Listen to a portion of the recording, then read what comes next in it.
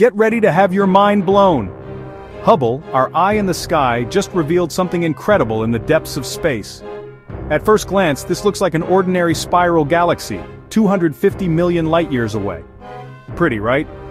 But hold on to your hats because what's hidden at its core is anything but ordinary. Deep within, Hubble has captured an active galactic center.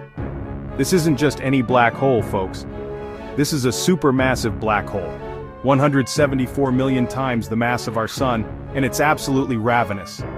It's not just sitting there.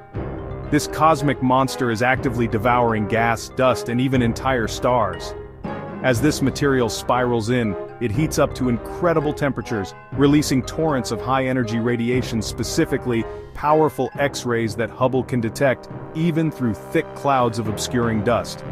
This makes it a Type II Seyfert galaxy, a classification for galaxies with an active but often dusty central black hole.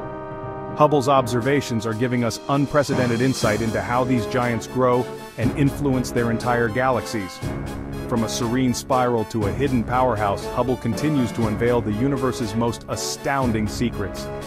What do you think this cosmic feeding frenzy means for galaxy evolution? Let us know in the comments. Like, share, subscribe for more cosmic discoveries.